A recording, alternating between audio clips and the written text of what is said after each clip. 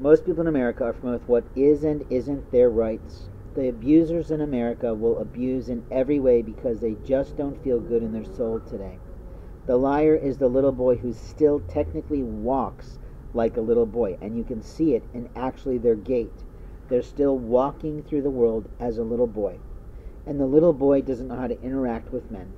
He doesn't know how to interact, he doesn't know how to behave, and he's always doing something that's in sin. He might have achieved a girlfriend, he might have achieved a wife, but he's still sort of playing in the shadows of life. He's still acting like he's in control of other people that he barely knows or are strangers to him. And openly that's immoral. You have no right to enslave someone to your game.